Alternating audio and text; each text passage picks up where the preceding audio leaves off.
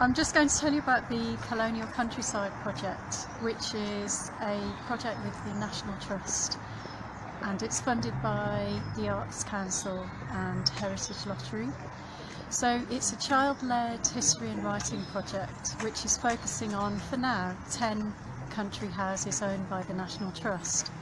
And the idea is to look at their colonial connections, so their connections to slave-produced sugar wealth and the Caribbean, and on the other side the East India Company connections. So there are lots of Midlands properties involved, but other properties further afield, like Buckland Abbey, where Francis Drake was was based, and he sailed with several Africans who had a big impact on his military strategy and diplomatic or non-diplomatic strategy. So um, what we're looking for is, as the project goes forward, we're working with 100 children. We've got various events lined up. So we've got a children's conference on the 16th of November in Leicester and in a church near the university campus, University of Leicester. And then we've also got uh, several things to do with writing. So we're commissioning 10 new pieces of creative writing in collaboration with Peepal Tree Press, which is one of our major partners. And those writers each will focus on one of the participating National Trust properties. There are some absolutely fascinating stories. So, for example, Penrhyn Castle in Wales has a, a, whole estate and a landscape which is funded by slave produced sugar wealth. So, not just the castle or the rebuilt elements of that castle, but the roads, the railways, the port, the whole infrastructure, as Marian Gwyn, the historian who's been researching that property for 25 years, points out, it's a slavery landscape.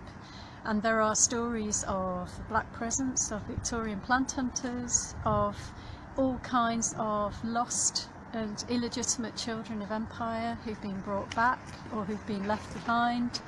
And uh, it's just a, a rich archive for, for writers to, to delve into. So those writers at some point will be giving inaugural readings of their work in the National Trust properties and they'll also be having their work published in an illustrated book produced by Peepal Tree Press, which will hopefully be sold in the properties themselves.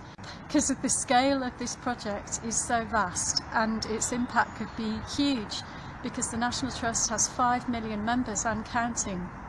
And a lot of those people, aside from a small band of historians and local activists, do not know about this history, do not understand how intimately connected that country house world is to empire. And we need people to work with the children, we need educators with experience of producing materials for primary children about black British history who might be able to work with some of our schools, say in Toxteth or Moss Side, which are participating. And also people who can contribute in, in any way as volunteers. Uh, if you've got ideas, if you want to join in, you're really, really welcome to do that. And I would love to hear from you because there's a wealth of experience out there. And the more of us get behind this, the bigger the impact it will have.